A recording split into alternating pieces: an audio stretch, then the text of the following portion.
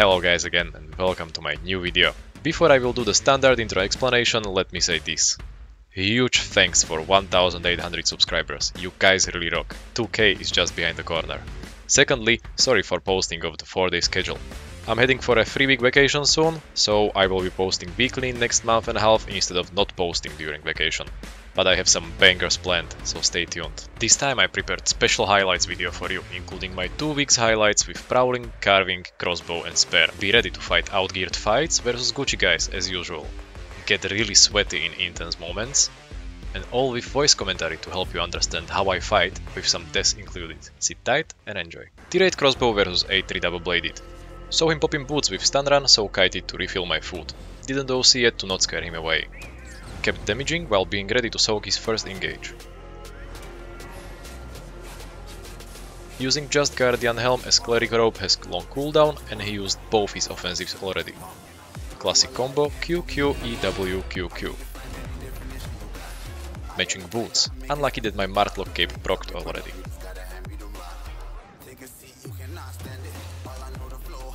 Caltrops on mob to get to him faster.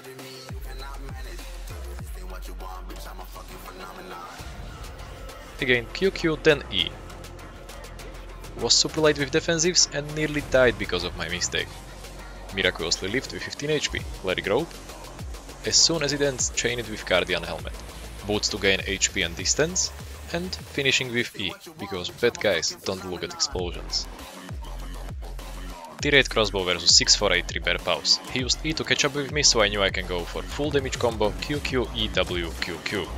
Unfortunately I messed up my defensives, used Guardian Helmet to remove bleed stacks, should have used my Cleric Robe on his Inferno Shield, and didn't match his boots which would refill nearly half of my bar.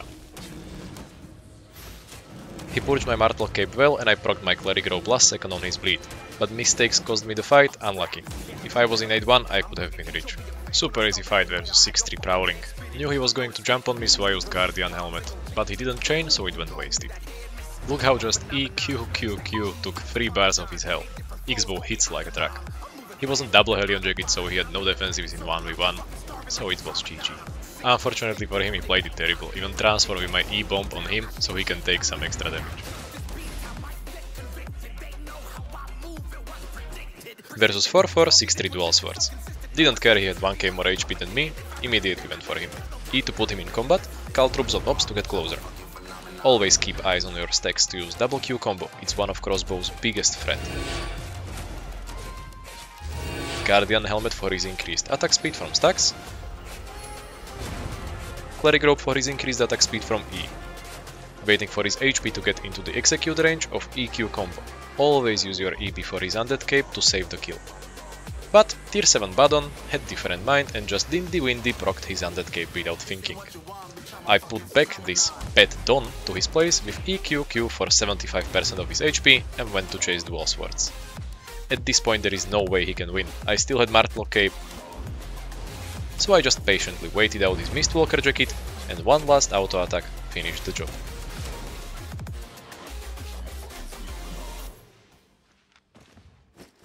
Showcase how insanely strong this build is in 1v1 versus 5-4-8-3 full spec Bloodletter with more than 1k HP difference. Didn't match his boots as I had double Q ready. Double Q into E and W, but messed up another WQ with defensive Guardian helmet. Late OC. Using advantage of my boots which he doesn't have, to deal more extra damage before his next combo is up. Damn, this Bloodletter must be a princess if he has even knights protecting him. Cleric Robe right on execute threshold. Immediate Guardian helmet to postpone execute a little bit more. His E went through my Martlock cape which saved me. Now he had no boots and I still had mine, but I got scared of red so disengaged thinking the curse staff will go for juicy bloodletter. But my oh my, was I wrong again. Guys, learn to inspect please. My build is less than 3 million and we had exactly same HP left. Versus 8-1 bloodletter who swapped an Inferno Shield. With Inferno Shield he has not enough damage to brawl with me, so I just spit my Qs and Es with always using the double Q buff. He started with his E, which means I have at least 10 more seconds for his execute, so I save my potion and cleric robe for later. Catching potential is great when you pair boots with Caltrops on mobs. His execute is close, so I use cleric robe before he procs my Martlock cape. He even missed his E, so I gave him my E for final goodbye, but he didn't wave back, which was kinda rude. Now it's time for some carving fun. Normally I don't fight fire stuffs, if I do I die or run, but this one had weird build, so I gave it a try. Swapped to Inferno Shield as it's more useful versus fire stuff without firewall. He missed his first E into mob, so I go fully in, even kept close with my E. He got scared and went into Assassin Jacket, which is great trade for me as I still has my jacket ready. Keeping my stacks with mobs around. Oh, he scared me here a little bit, but he has no Assassin Jacket, so I use my Inferno Shield to get better hand at trade keeping my Purge for his boots as he will have them earlier because of Omelette. I can actually finish him just with my E. Never mind, purging the boots is better option. GG. T8 Carving versus T8 Primal Staff. He had upper hand with Martlock Cape, immediately engage with W and E, staying away as his Brawl is better when he has all cooldowns up. Beast Walker Jacket for his bear form to avoid stun.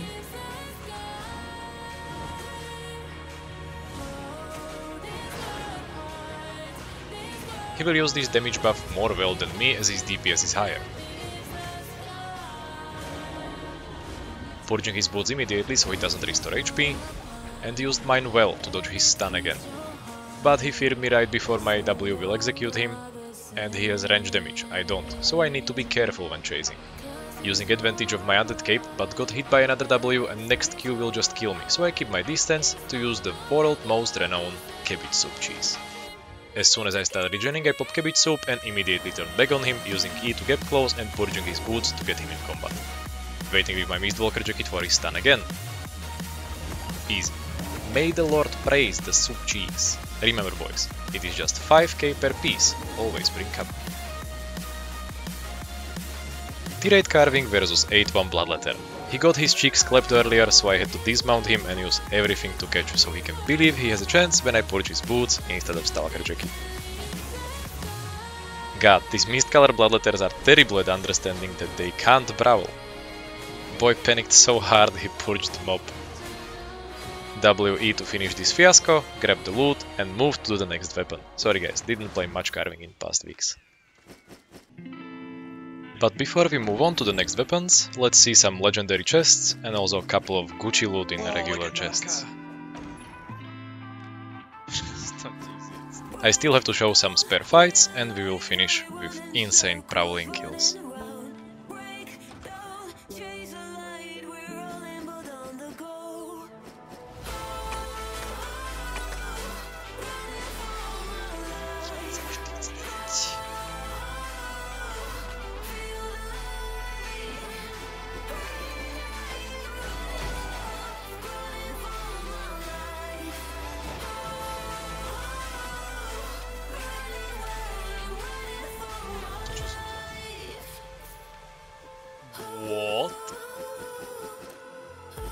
We can count the kill before Stilas opening chests. Now I'm going to fight 8182 Fire. This spear build is great at killing fire stuffs. Deflect for his E and also Mercenary Hood to interrupt his full casting E, which as you can see worked perfectly. Keeping my deflect for his next E and meanwhile just brawl while moving from side to side to make it harder for him to hit his Qs.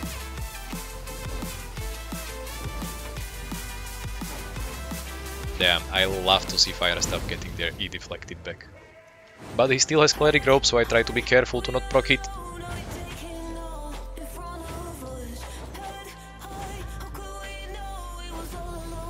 Got unlucky because my Q procced it even before the animation started. Really scary moment now, but Deflect saved me and next Q procced my undead cape.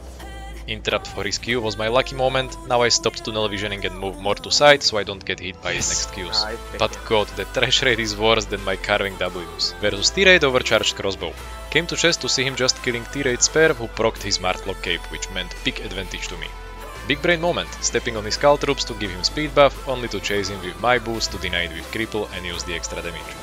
Mercenary Hood to get less damage from his E,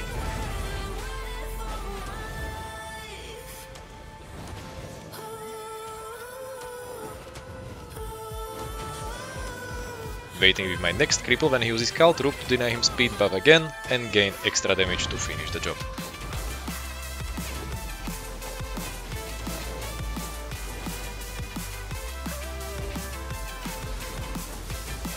Got lucky with escaping tier 6 red spear and collected my loot afterwards. Versus full 8-3 Realmbreaker. We had a little chit chat in Mist about his build and he wanted to try his build and I wanted to try mine versus him, so we ended up fighting. As my brow potential is worse because of IP, I have to deal at least bar and half damage before I fully commit to the fight. I was lucky as he missed his first E hard. Used my Stalker Jacket, which he answered with Mistwalker Jacket instead of Fiend Cowl, I should have kited a little bit again and not stay in Brawl longer. Which I realized after another Mist Impaler. W abilities are clearly my enemies.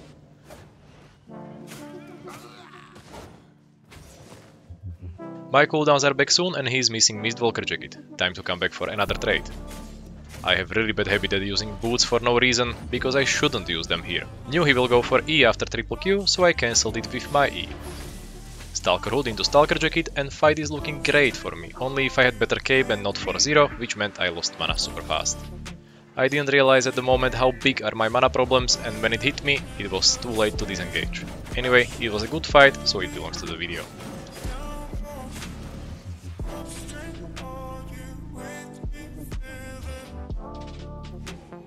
versus 5473 Bloodletter. Before already before and I had to disengage because he popped my undead cape, but I'm man of a fight, so I went back again even without my cape. He has Torch and higher IP Stalker Jacket so I swapped to Inferno Shield instead. Also kept my Impaler as Cripple will sacrifice my damage too much in this fight. Trade looks nice, and he used Stalker Jacket, I answered immediately with Inferno Shield which was mistake as he baited it very well. I should have waited a little bit more with Inferno Shield. He even perfectly dodged my Impaler, I should have waited for point blank range instead. I'm getting under 40% HP so I pop my health potion. Having no defensives up, I decide for a smart disengage using my Impaler to slow him and E away to gain distance. Combined with boots, it was perfect trade for me. My Inferno shield is soon up, so I went back in. Tried to purge his jacket with my Helmet of Valor, but I was blind to see, meanwhile he used his E when I was above 40% HP. So I got scared for no reason, because I thought he still has it ready. If I realized it at the moment and chased him, I could have killed him with EQW, but hesitated because thought his E is up and I just gave him enough time to recharge his E cooldown again. I should have waited 10 seconds longer to get my Inferno shield back up, but I didn't, so I died. I didn't play spear much, so that's the only good fights I got. I'm still average at spear, so I prefer other weapons, such as Prowling. Here I killed tier 7 double bladed and when I tried to inspect people witnessing the crime, I accidentally hit 4483 double bladed, which gave him option to dismount without cooldowns. Oppa. I'm in tier 8 Prowling, can I win this fight?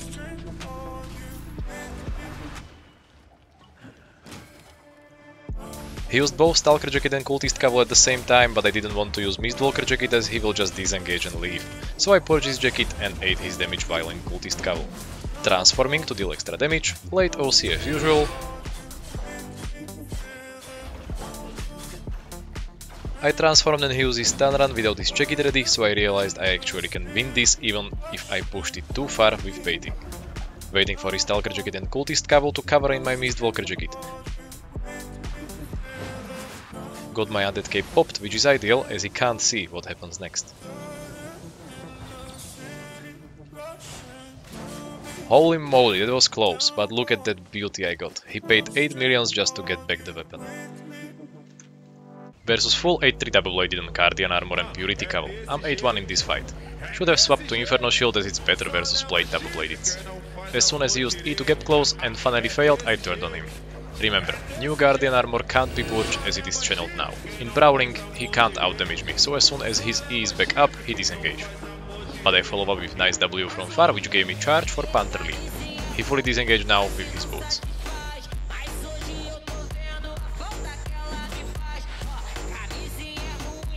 Again, stun and jump away. It's a safe way to play double bladed, but suitable for cowards only. So I change his mindset and start kiting away, turning myself into prey.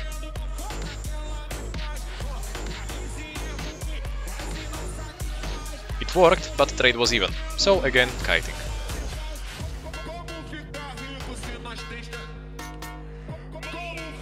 He turned back in, and knowing his only threat is now Purity I sidestep it and immediately turn back.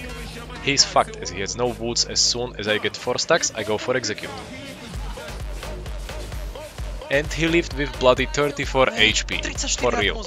I couldn't catch him so I dismounted two reds to help me catch him, but of course all three turned on me, so I died.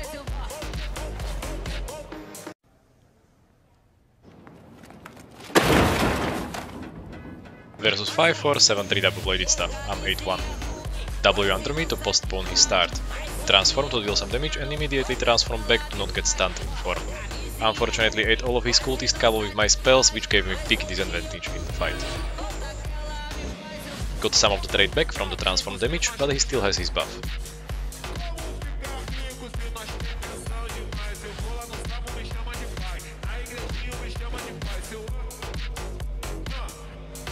This time disengage on his cultist cowl like I should. This guy is playing his trades well, I need to be more careful.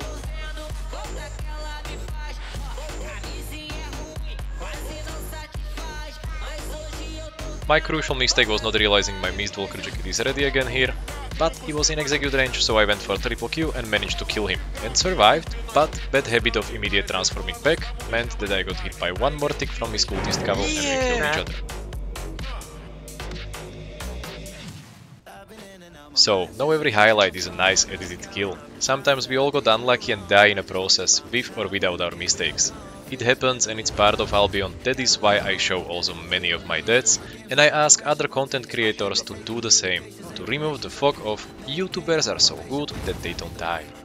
Remember, we will rarely grow as players if we don't look back at our deaths and try to improve based on why we died, and that is why I try to teach you guys my mindset. Hopefully, we will meet sometimes in Mist and you will beat my ass with stuff I learned you. I will continue fighting everyone I meet even at cost of dying because my silver allows me to die a lot and I also can gain silver back fast by playing easy meta builds such as the Bloodletter one. You should on the other side pick your fights and work your way up until you get confident enough to take even the harder looking ones. Thank you guys again for your amazing support and remember, if you like my content, click that subscribe button. It doesn't hurt to do and it helps me a lot by increasing range where my videos get. See you soon and don't forget to join new giveaway. Now I will pick a lucky winner for the premium and the surprise. Remember, if you win, you need to add me in-game and also on Discord. Check the description to see how you can do it. Remember to join new giveaway for 7 day premium and another surprise, this time in form of awakened weapon. You need to like the video, comment your in-game nick and be subscribed to the channel.